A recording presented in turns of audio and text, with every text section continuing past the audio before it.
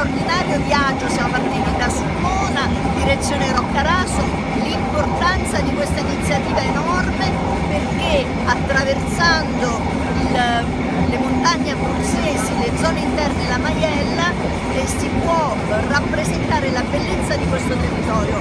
L'importanza per la promozione turistica è altissima e l'iniziativa di Ferrovie dello Stato è assolutamente puntuale.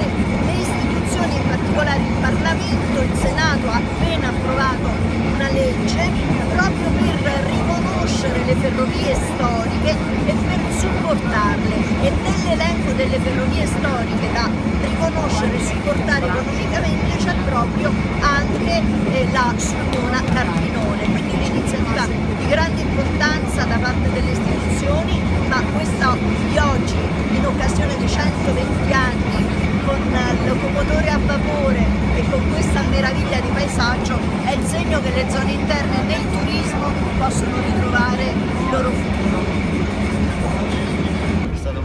Iniziativa, suppongo la nostra, della comunità campogiolese, quella di ricordare il 120 anniversario della tratta ferroviaria su Mona Carpinone, un segno di affetto diciamo così, per tutto quello che la ferrovia ha rappresentato in questi 120 anni in termini di sviluppo, lavoro, occupazione e, e turismo. Eh, quindi per tutto ciò che è stato e per tutto ciò riteniamo possa ancora essere e quindi ci auguriamo che eh, la linea torni a servizio della propria comunità e a sostegno della propria economia merita, Scendete un attimo perché merita. Fa, eh, le rotaie, il treno portavano in questi territori la possibilità di movimento, la libertà, lo sviluppo in una fase molto importante di crescita.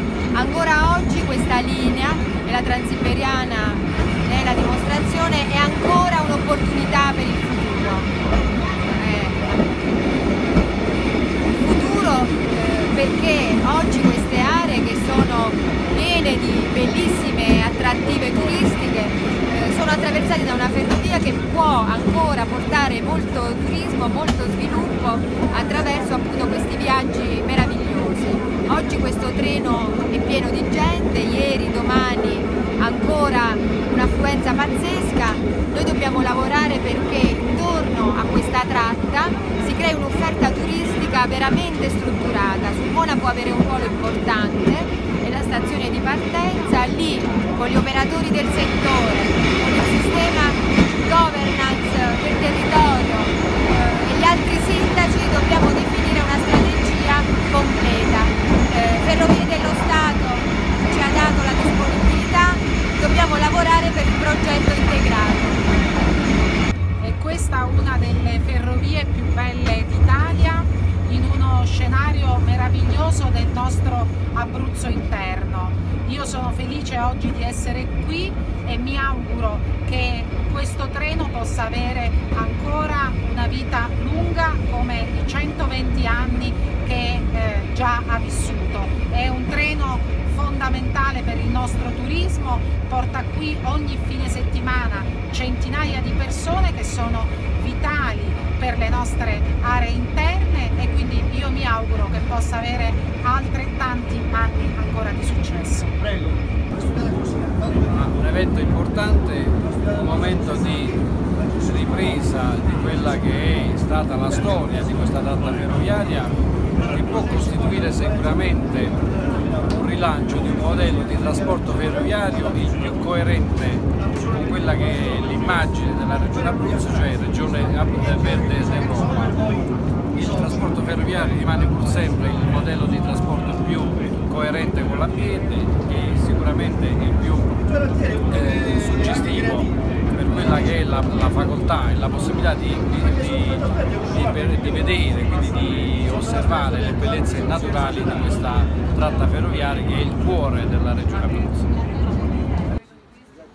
120 anni per festeggiare un compleanno importante di una ferrovia che fu un grande progetto ingegneristico alla fine dell'Ottocento per poter fare sì che questi luoghi, che già allora avevano problemi per mantenere la popolazione, mantenessero attività importanti che facessero insediare il popolo eh, nel futuro. Poi eh, si ebbe un discreto successo tra le due guerre, per la parte industriale, c'era un birrificio eh, nella zona locale, c'erano traffici legati anche addirittura a transumanze di animali, oltre a merci. Poi c'era un grande presidio dei campi militari che permettevano quindi una vitalità alla ferrovia. Seconda guerra, distruzione, ripresa negli anni dal 55 al 60, però nel frattempo era eh, avvenuta una trasformazione, c'era la gomma, c'erano i bus più flessibili e quindi gradualmente la gente si era trasferita su questi nuovi mezzi di trasporto. Finché è stata chiusa nel 2011 e si facevano allora 6.000 persone su 365 giorni, quindi poco più di 20 persone al giorno. 20 persone al giorno.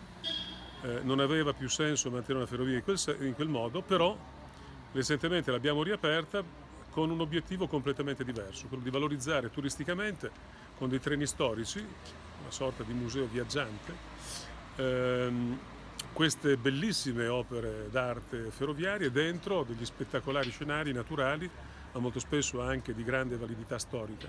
E abbiamo visto che la, la risposta è stata importante. Quest'anno chiuderemo con circa 17.000 persone che viaggiano sui nostri treni storici, ma che facciamo in solo 24 giorni, cioè eh, facciamo due giorni per ogni, ogni 15 giorni nel weekend. Capite che la, la cosa è completamente diversa.